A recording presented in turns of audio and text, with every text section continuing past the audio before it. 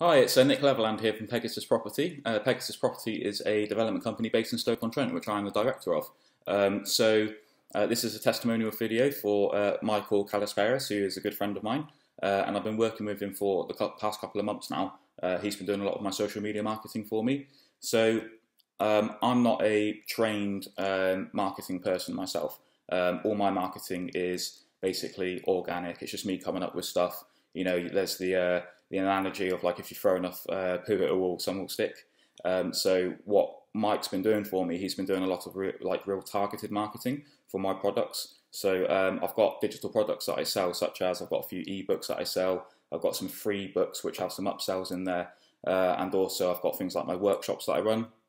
So all these things that uh, we're selling, basically, obviously I need marketing for that.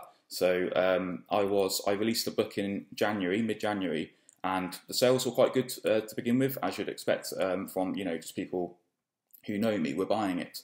Uh, but of course, that low hanging fruit, the easy pickings, uh, eventually ran out, and then we was on to cold traffic. Uh, so that's where Mike stepped in. So Mike basically set up a funnel for me. He did all my audiences, and he increased my um, he basically increased my sales massively. I can't remember what the exact numbers are now off the top of my head, but it, it basically doubled our sales um, within a week which is awesome. So yeah, he's certainly paid for himself. Uh, Mike's a great guy. He's been doing marketing for many years. He knows a lot about marketing.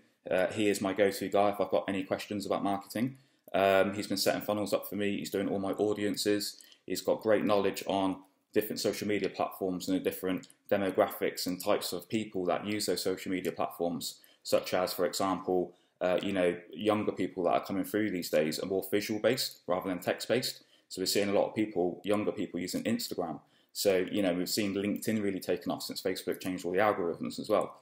So Mike's all over that. He's great in marketing. He does web design as well. Uh, he does graphics, um, and he's got a great vision as well for taking a brand and your product and basically uh, visualizing where he wants that to be. Um, so yeah, he's great. Basically, I can't recommend him highly enough.